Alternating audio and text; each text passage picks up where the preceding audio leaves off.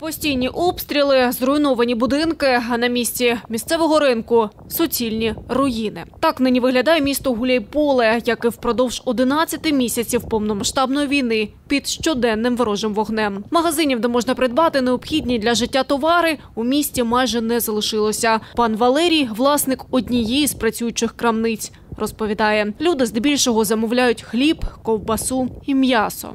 Товари першої необхідності це хліб, колбаса, ізредка, курей завозили таке. Ну, Ну купують люди, да? Приходять. ну люди купують, звісно, що вже треба. Масло просять, привозимо. Ось у цій напівзруйнованій оселі мешкала пенсіонерка з сином-інвалідом, розповідає начальниця слідчого відділення територіального підрозділу поліції Наталя Подоляко. Ворожий снаряд влучив у дах будинку.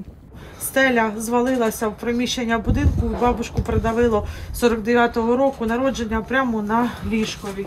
Той обстріл, де було поранено в будинку, де люди ховалися мирного е, місцевого жителя 74-го року народження в живіт. З 1 березня, коли в нас значить, почалися обстріли. Ринок ще ко- коли працював, ну вже наприкінці березня повністю закриті, люди поевакуювалися, оставили свої товари, все в своїх торгових точках.